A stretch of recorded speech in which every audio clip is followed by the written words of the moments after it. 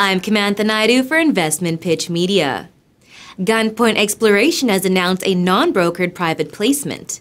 The company is looking to raise gross proceeds of up to $1.5 million from the placement of up to 3 million units priced at 50 cents per unit. The units consist of one share and one half a warrant, with each full warrant exercisable at 75 cents for 24 months. The shares are currently trading at 55 cents. Net proceeds will be used for exploration on the company's Talapoosa Gold Project in Nevada and for general corporate purposes. Gunpoint owns the Talapoosa Gold Silver Project located in the Walker Lane Gold Trend in western Nevada. The mineralized area at Talapoosa is approximately 2,200 feet long, up to 1,000 feet wide, and 500 feet thick down dip, remaining open along strike to the northwest and southeast. District scale upside exploration exists with the untested 7 kilometer long Appaloosa mineralized ridge north of the Talapoosa deposit.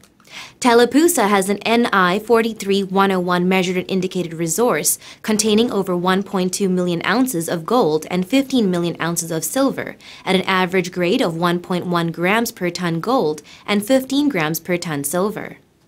In 2015, a PEA using conservative metal prices returned robust project economics with an after-tax net present value of $136 million US and 39% IRR with gold at $1,150 US and silver at $16 US per ounce.